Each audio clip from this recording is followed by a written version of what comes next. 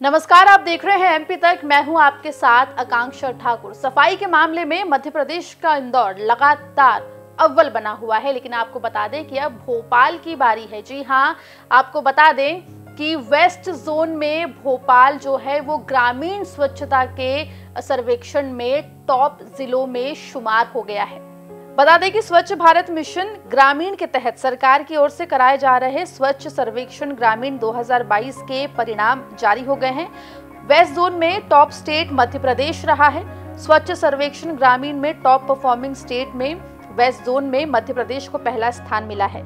वहीं स्वच्छ सर्वेक्षण ग्रामीण के ओवरऑल टॉप डिस्ट्रिक्ट यानी कि जिलों में वेस्ट जोन में भोपाल को पहला और इंदौर को तीसरा स्थान मिला है। आपको बता दें कि इसी तरीके से सुजलाम कैंपेन में मध्य प्रदेश को पहला और सुजलाम कैंपेन टू में चौथा स्थान प्राप्त हुआ है।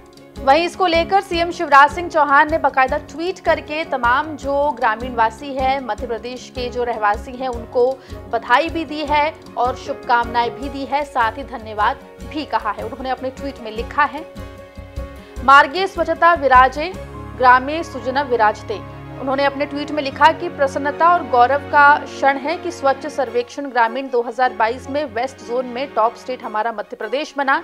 मध्य प्रदेश के लिए अत्यंत गर्व का क्षण है कि overall top district west zone में भोपाल प्रथम और इंदौर तीसरे स्थान पर रहे। सुजलाम 1.0 कैंपेन में मध्य प्रदेश को पहला और सुजलाम 2.0 कैंपेन में चौथा स्थान मिला है। साथ ही अपने ट्वीट में उन्होंने लिखा है कि स्वच्छ सर्वेक्षण में हमारे प्रदेश को प्राप्त एक गौरव प्रमाण है कि ग्रामीण क्षेत्रों में भी स्वच्छता को लेकर जागरूकता की नहीं, बल्कि समर्पण भाव भी दृढ़ हुआ है।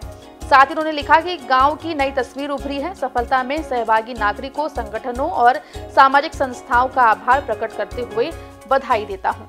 तो देखिए, मध्य प्रदेश का इंदौर पहले से ही स्वच्छता के मामले में पिछले कई सालों से टॉप पर रहा है, लेकिन मध्य प्रदेश के भोपाल का जो ग्रामीण इलाका है, वो भी स्वच्छता सर्वेक्षण में वेस्ट जोन में अव्वल आया है। मध्य प्रदेश टॉप पे रहा है, जबकि भोपाल ज़िले को पहला स्थान और इंदौर को तीसरा स्थान मिला है। मध्य प्रदेश से जुड़ी तमाम खबरों के लिए बने रही है एमपी तक के साथ।